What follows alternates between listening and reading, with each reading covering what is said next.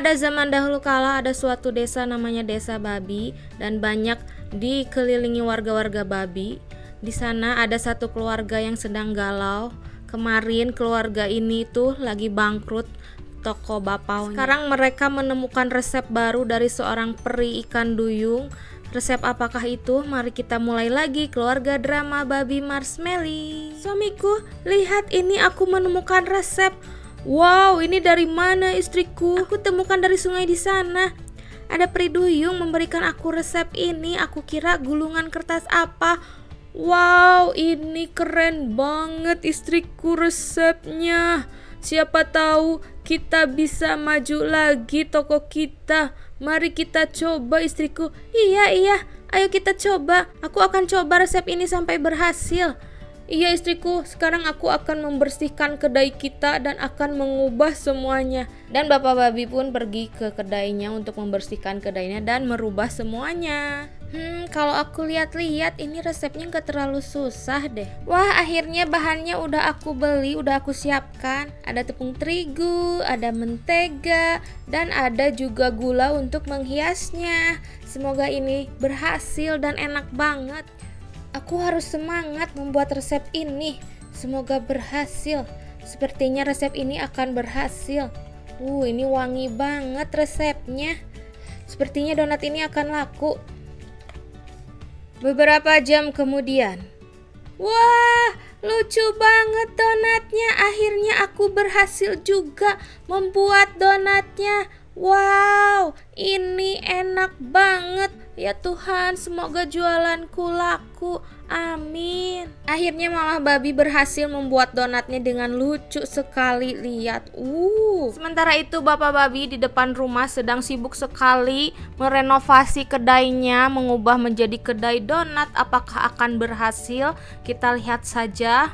Saking berisiknya di depan rumah sampai tetangga pada lihat tuk tuk tuk tang tang tang tang berisik sekali wah itu bapak babi sedang apa ya sepertinya dia sedang mengubah kedainya wah dia mau jualan apa lagi ya padahal kemarin dia sempat bangkrut gak laku gitu bapaknya Hus, kamu gak boleh ngomongin kayak gitu. Kita lihat saja dia jualan apa ya. Apakah kali ini dia bakal laku lagi? Kita lihat aja nanti. Aduh, kenapa mataku harus ditutup segala suamiku? Iya, kamu jangan lihat dulu ini kedainya kayak gimana hasilnya. Ayo, ayo, dekat mendekat dulu. Aduh, aku nggak bisa lihat suamiku. Nah, sekarang kamu udah siap? Iya, iya, aku sudah siap. Ayo buka dong mata aku. Ini dia kedai baru sekarang. Tada! Wow, bagus banget suamiku. Wow, Melis Donuts. Ulala, ada kasirnya juga. Wow, lucu banget kan istriku kedainya. Ini buatanku sendiri. Hahaha. Iya, lucu banget. Terima kasih suamiku.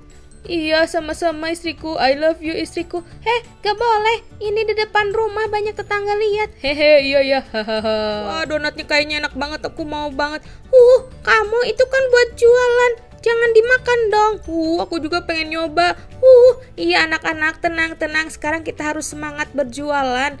Ayo, panggil tetangga-tetangga supaya tahu bahwa kita berjualan. Iya bu, iya bu, aku mau keliling dulu buat promosiin. Hihi, ayo deh, iya.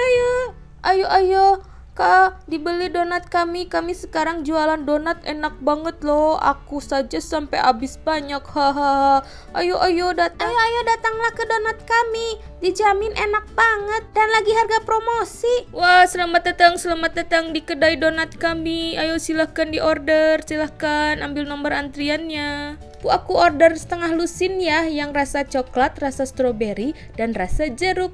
Baiklah, tunggu sebentar ya. Baiklah, akan saya siapkan pesanannya. Donat coklat, donat stroberi, dan donat jeruk masing-masing dua pieces. Ini dia pesanannya, semuanya Rp30.000.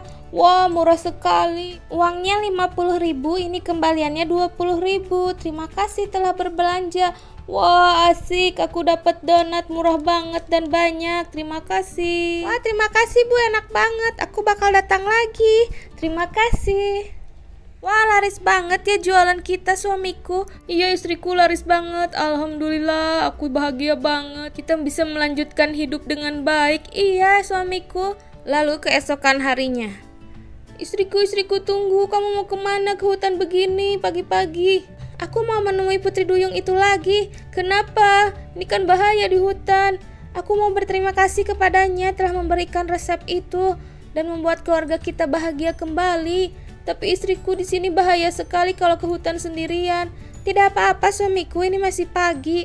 Baiklah, aku mau tunggu di sini ya. Lalu ibu babi pun menyusuri sungai mencari si Putri Duyung itu lagi. Putri Duyung, Putri Duyung, kamu di mana? Tapi setelah sejam pun Putri Duyung itu tidak muncul juga di permukaan air sungainya. Entah dia ke mana. Putri Duyung, kamu di mana?